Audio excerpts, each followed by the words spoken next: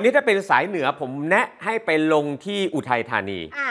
ไปดูซิว่ามีอะไรกันบ้าง เพราะเขาบอกว่าไปขอพร ในช่วงหยุดยาวแบบนี้ดีเหมือนกัน ค่ะ แล้วก็ไปพิชิตยอดเขาสแกกรังก็ได้ด้วย โอ้โห อะพาไปดูบรรยากาศกันหน่อยดีกว่าครับคุณผู้ชมครับ เขาใช้วันหยุดในช่วงของลองวิกเอนเนี่ยนะครับ เดินทางไปท่องเที่ยวไปทำบุญขอพรไหว้พระกัน ตามวัดต่างๆ ที่อุทัยธานี โดยเฉพาะวัดสังกัดรัตนคีรีครับ ที่นี่เป็นวัดเก่าแก่สร้างมาตั้งแต่ปี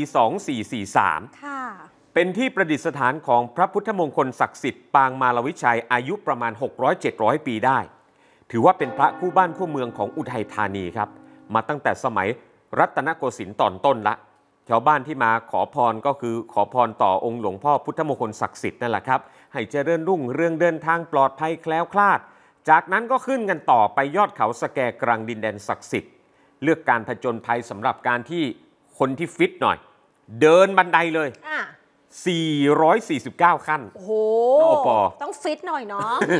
ต้องฟิตนิดนึอ่างแต่ค่ะ ถ้าไม่ฟิตค่ะ อ่าเขาเรียกว่าสวละ อ่าสูงวัย เออแล้วก็อู้ฉันไม่อยากเหนื่อยและร้อนเกินไปอะแวะไปตามเส้นทางรถก็ได้ โอ้ เขาก็ขับรถรถยนต์ขึ้นไป ค่ะ แล้วไปจอดตรงลานจอดได้ด้วยเหมือนกันครับ นี่สี่ร้อยกว่าคันก็สวยนะ 449 โอ้สี่สี่เก้าเลขดีด้วยค่อยๆ ขึ้น ค่อยๆ ขึ้นจริงๆ เหนื่อยก็พัก เออหยุดแวะจิอะไรนะเขาเรียกว่า